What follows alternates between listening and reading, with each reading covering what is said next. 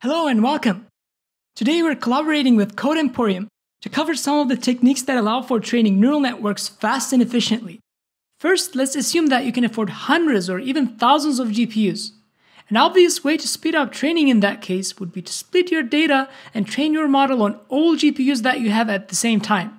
For example, if you choose your batch size to be 8192 and distribute it to 256 GPUs, then each GPU would get a mini batch of 32 samples. Each one of those GPUs keeps a copy of the model parameters and gets the same updates. Therefore, the copies on different GPUs don't diverge from each other. TensorFlow calls this approach a mirrored strategy. Yet, this approach has some shortcomings. Large batches result in smoother gradients because a large batch size reduces the variance in the gradient. Although this gives a more accurate estimate of the true gradient, large batch size also reduces the stochasticity of the optimization. Empirically, models trained with very large batch sizes get worse validation accuracies as compared to the ones trained with smaller batch sizes given the same number of epochs. One of the tricks to alleviate this problem is to increase the learning rate to compensate for the averaging effect that a large mini batch has. A rule of thumb that many papers have adopted is to scale the learning rate linearly. For example, when you quadruple the batch size to distribute training over 4 GPUs, multiply the learning rate by 4 as well. This heuristic seems to work well for a reasonable range of batch sizes and learning rates, as shown in this paper titled Accurate Large Mini Batch SGD Training ImageNet in 1 Hour. Another trick is to use a learning rate warm up. It's a common strategy to start with a relatively large learning rate and decay over time. In learning rate warm up, one begins with a small learning rate and increases it to a preset value in a warm up phase, which is typically the first few epochs. Then the learning rate is decayed as usual. Both of these tricks are particularly useful for distributed training on multiple GPUs. However, they can help with single GPU training as well. For example, my experience is that learning rate warm-up helps stabilize harder to train models, regardless of the batch size and the number of GPUs you have. Speaking of learning rates, let's talk about some learning rate schedules that might help speed up training. One of them is a cyclic learning rate schedule that increases and decreases the learning rate in a cycle within some upper and lower bounds. The upper bound can be reduced as the training progresses. A variant of this idea is the one cycle policy that increases and decreases the learning rate in a single cycle during the entire training process. This is somewhat similar to the learning rate warm up that we talked about earlier, the one cycle policy is also applied to the momentum parameter in the optimizer, but in the reverse order. Recently, I ran into this paper titled Bag of Tricks for Image Classification with Convolutional Neural Networks. It summarizes and evaluates many efficient training tricks, including some that we already covered in this and previous videos. Let's go through the ones that we haven't covered so far. One trick that we haven't covered earlier is a simple technique called mix-up which helps against overfitting and reduces a model's sensitivity to adversarial examples. Essentially, mixup is a very straightforward data augmentation technique that randomly blends input samples. More specifically, mixup training randomly samples a pair of data points and generates a new sample by computing a weighted average of both inputs and outputs. For example, for an image classification task, that would mean blending the input images with some transparency and using the same blending parameter to compute a weighted average of the output labels. Another label manipulation trick is label smoothing, which is a much older technique than mixup. In a typical classification dataset, the labels are one-hot vectors, where a true class has a value of 1 and everything else has a value of 0. However, a softmax function at the end of a model never outputs one-hot vectors. And this creates a gap between the distributions of the ground truth labels and model predictions and label smoothing shrinks that gap. This is done by subtracting some epsilon from the true labels and adding it to the others. This approach prevents models from being too sure and also acts as a regularizer. But keep in mind that very large values of epsilon would flatten out the labels too much. The stronger the label smoothing is, the less information the labels retain. In the earlier videos, we discussed the relationship between model size and error. The error of a model on a test set is typically expected to be higher than the error on a training set. This is called generalization gap and is explained by overfitting, where a model starts memorizing the samples in the training set, losing its generalization ability. Increasing the model size makes a model more prone to overfitting. Therefore, beyond some point, a larger model is expected to have a larger tested training error ratio. However, an interesting phenomenon that some researchers noticed in deep models is that as the model size increases, the test to training error ratio starts decreasing again after increasing up to some certain point. They call this the double descent phenomenon.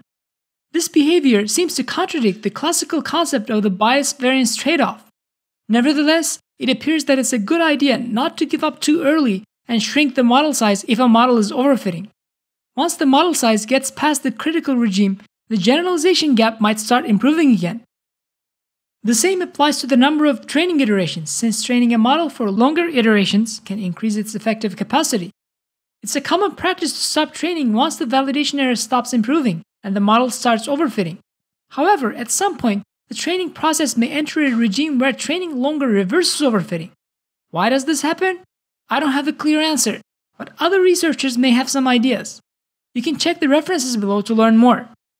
Finally, the fastest and easiest way you can build a deep learning model without worrying too much about how much data or resources you have is sounds familiar? Transfer learning. In a nutshell, transfer learning gives a model kickstart by transferring the weights from another model instead of training from scratch. You can check out my earlier video for a more detailed overview of transfer learning techniques. Now I'm passing the mic to Ajay to talk about mixed precision training. Hello everyone, Ajay Halthor from Code Emporium here. Hope you've been enjoying Leo's talk on different ways to speed up neural net training so far.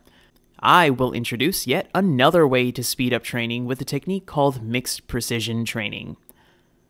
After that, we'll actually see how fast this really is with some PyTorch code. Cause seeing is believing. Computers love working with numbers, Numbers are typically represented in a 32-bit format for storing and processing data. This extends to deep learning too. We have a simple neural network here. For the sake of this argument, this neural network will take an input image that contains an animal, and it spits out the animal text. We want to train this neural network. Training means that we want to find edge weights of this network such that it is able to do this animal classification task on its own. And these weights are stored in their 32 bit format. Training in general involves forward and backward propagation, which implies billions of multiplications and additions of 32 bit numbers. But do we really need 32 bits to represent a number during training? Not really. Gradients computed in backpropagation tend to be very low values, so we need a lot of bits to adequately represent them. But we could inflate these gradients, so we wouldn't require as many bits to represent them. In fact, we could represent numbers with 16 bits instead. This would reduce the memory storage for the model by half, making the training several times faster since we are making arithmetic operations with less bits. The only thing we need to worry about is accuracy. The accuracy should obviously drop significantly since we're cutting precision big time. Or does it? Yeah, it drops by like 80%, making it completely useless. But if we scale our gradients up correctly, we can use only 16 bits while still maintaining accuracy. But uh, how do we do this? There was a paper on mixed precision that was released by NVIDIA and Google that explains this concept and we're going to state exactly what they did. First, maintain a master copy of actual weight parameters in the original 32 bit precision format. This is going to be the actual set of weights that we use in the model. Then we convert the 32 bit to a 16 bit precision. Then we perform the forward propagation step with all the arithmetic operations. And once the forward propagation part is complete, a loss is computed. Then scale this loss by multiplying it by some constant. And this way, during the back propagation phase, the computed gradients are also scaled up. So perform back propagation, which computes the 16-bit gradients. Then these gradients are used to modify the original 32-bit weights. This is one iteration, and we do this for a number of iterations. And that's it. This gives rise to neural networks that can be trained much faster using less memory. This leads to similar, if not better, performances in different fields of computer vision and language processing problems. We'll leave a link to the paper below, and it's really not that tough to read, so check it out. Got that theory locked in? Now for the code. Right now, what we're going to do is we're going to train a generative adversarial network to generate images of different types of objects.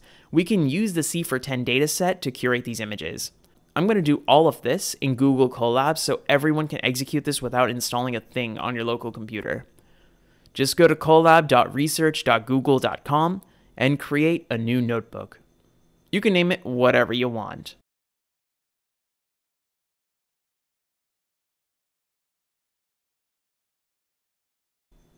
we need to write four lines of code to get things running. I'll copy and paste them for now. This will clone the Apex repo and it creates the setup.sh file. Then we run this setup file. It may take a few minutes, but once it's up, you're all ready to go. On the sidebar, let's go to Files to get an idea of the file system that we're dealing with. Let's go to Apex, Examples, DCGAN, and main underscore amp.py. This file has the code for the deep convolutional GAN with the mixed precision modeling that we discussed. Let's run this file passing in a few arguments.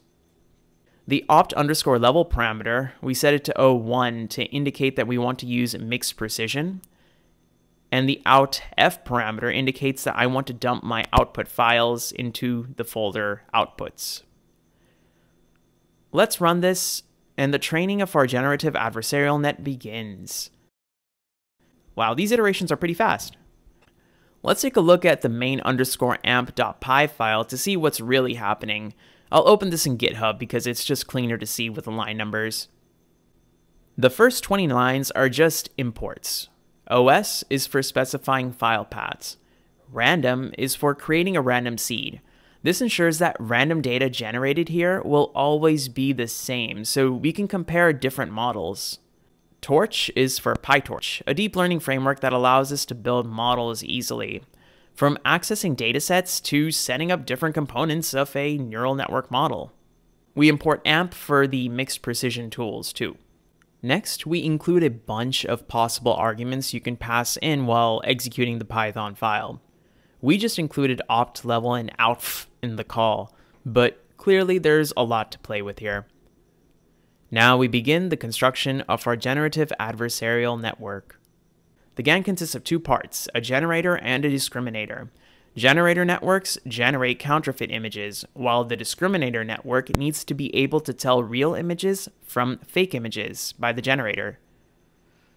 These two components compete each other over many iterations, they get better and better at doing their job until the generator can make nearly realistic images.